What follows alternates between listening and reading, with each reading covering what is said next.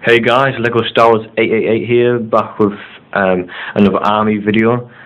So far I've done a review on my clone army, droid army and rebel army. So this is my fourth and final army video. As you can't already tell, it, this is the Imperial army. Um, so without further ado, we'll get onto the minifigures and the sets and vehicles themselves. So we've got 15 stormtroopers. Uh, just before I'll show you them, is it just a quick comparison between the old stormtrooper and the new one? The only difference really is the helmets. There's a on the mouthpieces there, and the helmets are actually this one's the new one slightly bigger than this one. So I just want to tell you that. So we've got 15 stormtroopers. Um, so that's three across and five um, upwards, like a long ways. Got two Sand Troopers as well, which came in uh, Imperial Landing Craft. Can't find my Imperial Landing Craft set. Um, most of the pieces fell apart years ago, so all I've got left is the Sand Troopers, and it came with two Sand Troopers, two Stormtroopers, and a TIE pilot. Um, come with orange pauldrons, and another thing that they didn't actually come with were, sorry about the shadow, were these uh, backpacks that they do come with in a new Sand Troopers. They didn't back then, but I added them to them just to make them look a bit more realistic, like more detailed. The back here we've got some TIE pilots and Shadow Troopers, a bit hard to see, and there's a V-Wing pilot in there. So we've got three of the old TIE pilots and one of the new ones. I'll just give you a quick comparison what I mean, it's a bit dark to see. So there's the old TIE pilot with a, a, a smaller type helmet, bit like the, the first version of the Stormtrooper there. Basically this one's just black and it uses a TIE pilot. And the new one comes with a larger head, even larger than the Stormtrooper's helmet. And he has a black piece, well you can see his uh, black head underneath there. Hard to tell but I'll show you the AT-AT driver. So that's the TIE pilots. And next time I put an uh, Imperial V-Wing pilot, which came with the Imperial V-Wing, because he, he, is um, part of the Imperial Army, apart from he's in episode 3, not 4, 5 and 6, so I include him anyway. We've got three Shadow Troopers, which came in the Imperial dropship, uh, dropship set, which came with one Shadow Trooper and three Stormtroopers, which was a battle pack, as you can see over there. You got So I've got three of them battle packs, so I've got three Shadow Troopers. That's mostly how I got mostly storm, uh, Stormtroopers.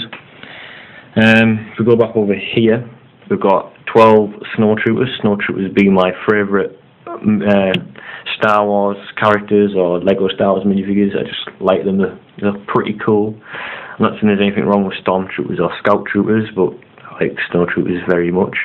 So I've got 12 of them, so it's three across and, and uh, four upwards. So not quite as many as the Stormtroopers, but just three less, so not complaining too much. Um, um, actually, we'll go to the Scout Trooper. Just got one of him. I think I paid about one pound fifty or two pound for him off eBay. So I've only got one of him. But when I get the 2012, um, uh, is it Endor Battle Pack with Imperial Troopers or something like that, where you get one another Scout Trooper in that set, and you get a newly designed Stormtrooper, which comes with a bit more detail on the torso, but you'll see that in that review coming soon. I'll be getting that battle pack. But anyways, just one Scout Trooper for now. If we go up the back here, we've got four AT-AT drivers. You can see one's the old version. Uh, comes with black gloves, not white gloves, and the helmet's small, like the original Stormtrooper and the original TIE pilots. They had the smaller helmet. And this AT-AT driver's got the large helmet like the new TIE pilot, it has a a cut piece, you could say, so you can see his helmet. I don't know why they did that, but they did anyway. And we've got R2-Q2, the Silver Astromech droid, which came with the Imperial V-Wing Starfighter, which came out in 2011. And we've got um, a mouse droid and the Black Astromech droid, which came in 2011 calendar, advent calendar. They also came in the Death Star, I believe, as well. Over here we've got um, an Imperial shuttle pilot and an Imperial officer. Basically, the shuttle pilot is the uh, in a black suit, similar to the grey suit of the Imperial officer. So we've got five Imperial officers, two of the old ones, three of the newer ones. Quick comparison between new one here and the old one here. big difference there. And there's two motorbike and an ATST driver. I used to have an ATST, but sorry that broke like the Imperial Landing Craft, so I don't have that anymore. Um, we also got Boba Fett, which came in a Jabba's Prize set, but that, that set's not complete. Um, well, I'm just missing the Gamorrean Guard, the old Gamorrean Guard out of that set before I review that set. Next, got two Darth Vaders.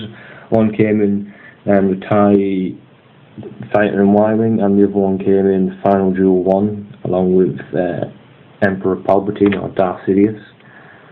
So that's Vader and Palpatine there. Master and Apprentice. Um, then we've got some others, Darth Maul, Count Dooku, Asajj Ventress and Savage Opress. So those are all the minifigures. I've got 56 Imperial minifigures, 15 Stormtroopers, 12 Snowtroopers, 2 Sandtroopers, 4 TIE Pilots, 1 Imperial V-Wing Pilot, 3 TIE Pilots, Boba Fett, 2 Vader, uh, 1 Emperor Palpatine, 2 Astromech droids, 1 Mouse droid, 4 AT-AT drivers, uh, 1 Imperial short pilot, 5 Imperial officers, 1 ATST pilot, uh, driver, Darth Maul, Count Dooku, Asajj Ventress and Savage Opress. And obviously, I, don't know if I mentioned the Scout Trooper as well, who was on his lonesome there. So obviously I'll be looking to build on this army. I'll finish off what I'm going to say, I want to show you the sets before I forget. Um, so we've got Darth Vader's TIE Advanced, came in the TIE Fighter and Y-Wing sets. We've got the TIE Fighter 7146, which came with the refueling um, bay there. We've got the three Snowtrooper battle packs there. The little, little um, I can't remember what you call them, little missile areas where they fire the fire missiles from. Four speed bikes, three of them came in the Snowtrooper battle packs, one came in the Hoth Echo Base set 7879, and three web cannons, one came in that uh, Echo Hoth Echo Base 7879, and other two came in Echo 7749 from 2009.